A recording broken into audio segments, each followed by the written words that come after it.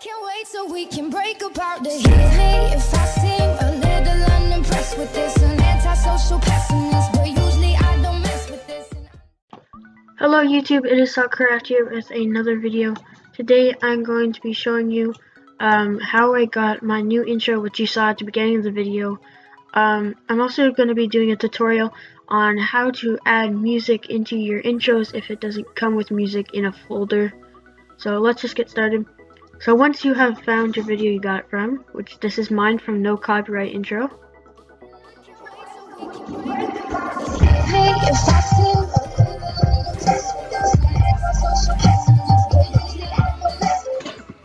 And yeah, so that is basically the intro that I have.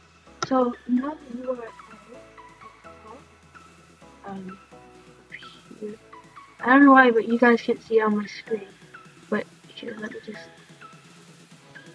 my display capture a little bit. There you go. Now you can see. So you see the link up here. You just want to go like this. Control C if that that's how you copy it or you can just right click it and hit copy either way it doesn't matter and then so okay and then then after that you want to go back go to Google or whatever your browser is and type in YouTube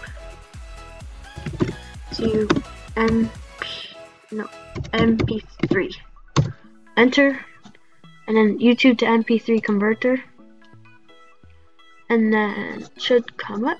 Sorry, internet's just a bit slow. It should already have the link in there, but if it doesn't, and it's just blank, so it's just blank. Oh my god.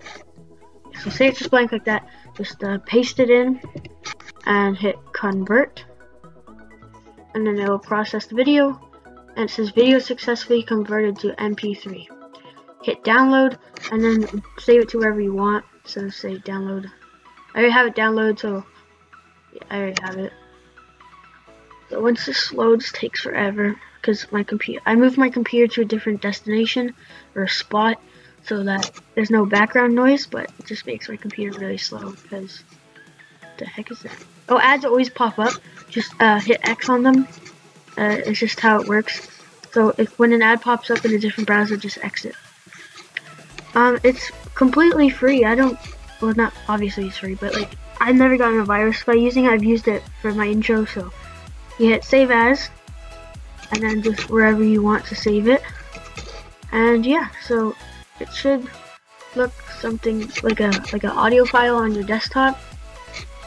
And so once you've done that, um, and you have your intro or whatever you're using it for, the music in the video, you just put it in Movie Maker or your editor, and you basically have the music if it doesn't download in a file.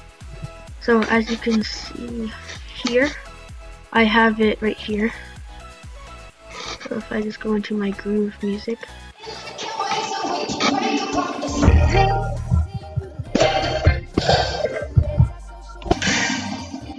so it should sound something similar to that or whatever yours is, obviously. So I hope you guys enjoyed this quick tutorial, and I'll see you guys next time.